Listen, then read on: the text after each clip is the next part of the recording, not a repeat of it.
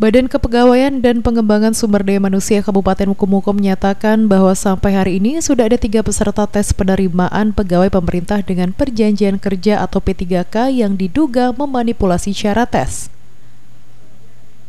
Semua laporan yang masuk ke BKPSDM tersebut adalah formasi dari kesehatan dan diduga pemalsuan pada masa kerja.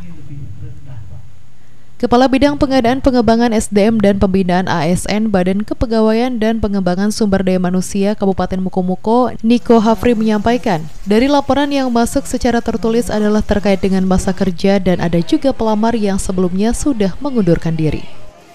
Selanjutnya terkait dengan laporan tersebut, BKPSDM sudah meminta klarifikasi kepada pihak terkait, yaitu pihak Puskesmas dan RSUD Mukomuko, terkait dengan keabsahan surat yang telah dikeluarkan oleh instansi tersebut.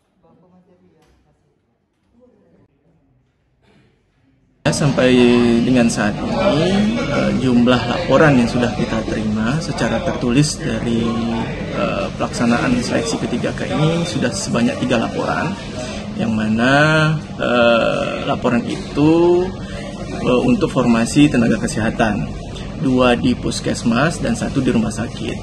Nah untuk keseluruhan uh, laporan tersebut itu terkait masalah uh, masa kerja dari pelamar yang Septio, RBTV uh, mendaftar dan kemudian juga terkait dengan pelamar uh, ada yang sebelumnya telah mengundurkan diri. Ringo Dwi Septio, RBTV melaporkan.